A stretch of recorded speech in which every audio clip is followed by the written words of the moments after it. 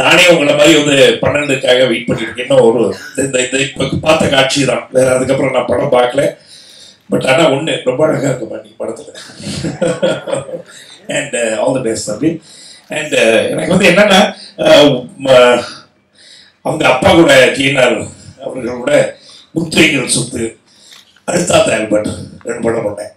அப்போவே அண்ணன் வந்து ஒரு சின்ன வயசுலேருந்தே வந்து ரொம்ப ஒரு துருதுருன்னு இருப்பார் அண்ணன் அதுக்கப்புறம் அந்த துருதுருப்பு வந்து படத்தில் வந்து என்ன வச்சு இயக்கிய படத்தில் தெரிஞ்சிச்சு அப்படிங்கிறது தான். So I'm always thankful to your family and உங்கள் அப்பாவுக்கு. அண்ட் uh, இது முக்கியம் என்னன்னா uh, நம்ம வந்து ரொம்ப நாளைக்கு அப்புறம் இந்த ரோஜாவுக்கு அப்புறம் வந்து காஷ்மீர்லாம் பார்த்தது இல்லை. இந்த படத்தை இந்த படம் பார்த்ததுக்கு அப்புறம் இந்தியன் ஆக்கியபைட் காஷ்மீரை நம்மளாம் என்றைக்குமே விட்டு கொடுக்க கூடாதுங்கிறது தான் என்னுடைய கருத்து. அவ்வளோ அழகான ஒரு இடம்.